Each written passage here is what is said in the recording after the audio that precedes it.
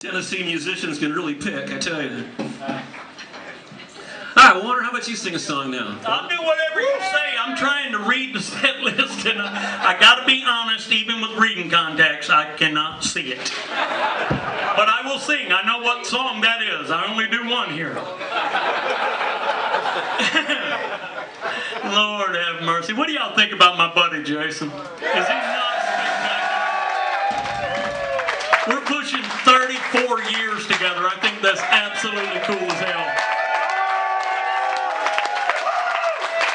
Somebody asked me out of the merch stand, they said, does he still go at it? And I said, well, almost like he does at 26, but he's not 26 anymore. But he is a bad ass. All right, this is a rock and roll song.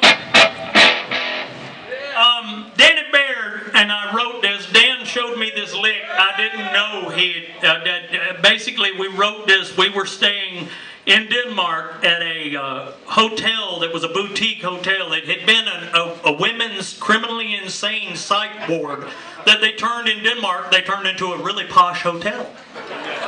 And Dan shows me this lick, and a year later, I show him my new song.